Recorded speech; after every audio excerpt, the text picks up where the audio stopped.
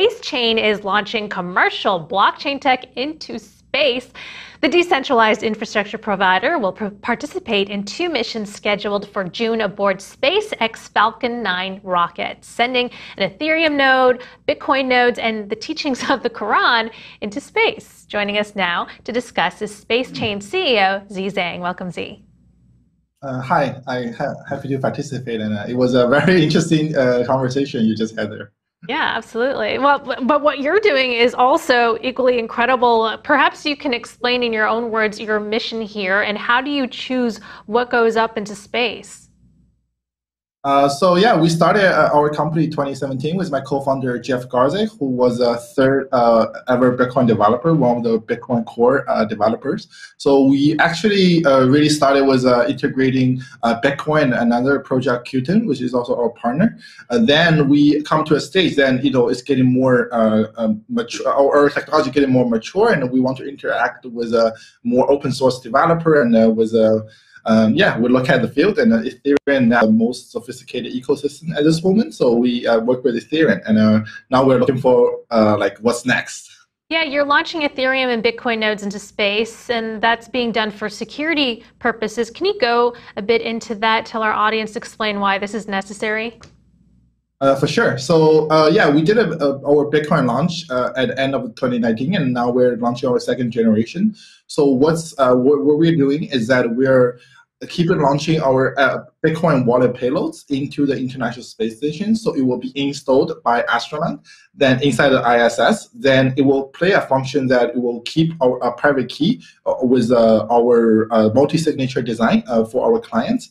So basically, uh, you know, for our clients, they have a, a multiple a signature infrastructure that has one of the key inside of the ISS, then can be this security place for them to tr make transactions. So think of a, situation that if we're hackers or uh, to breach your uh, ground network, or if there's a, a potential uh, yes hacking of your and any other system, will be this independent controller of the private key to keep our customers' money safe. So, so you have to basically have astronauts go in and, and service this. Is that it for the second key? I mean, they're going to have to sit there and, and start uh, dealing with that.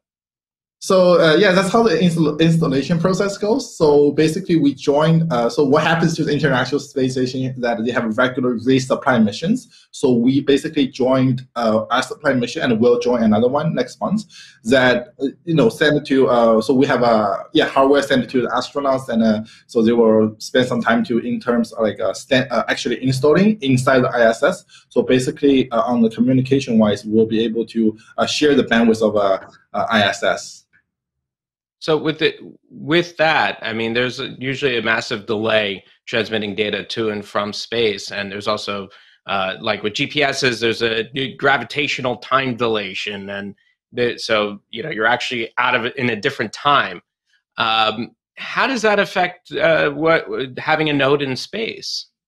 Yeah, um, very very good point that you just mentioned there. So uh, because we're mainly working with enterprise customers. So our main customers are digital banks, uh, custodian services. So we're talking about their, their, their average transaction size is actually rather big, and they care security more than the, the speed actually for per transactions.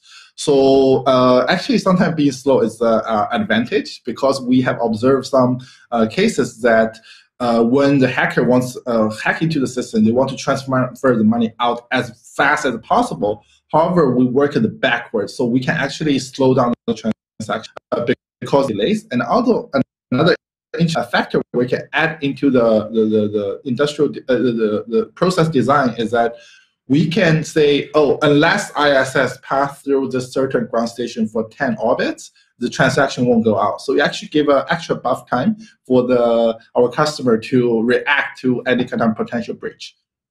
So is this actually basically a bank in space? And are you anticipating some sort of interplanetary uh, species and, and, anticipating that kind of future?